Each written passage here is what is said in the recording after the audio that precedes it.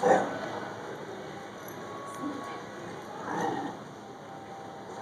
Spoos is doing the play bow. It's like your typical play bow behavior right there.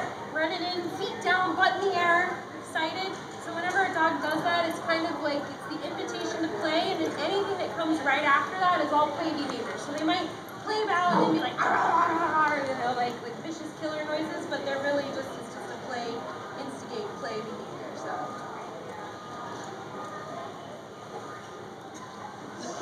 死もけろ。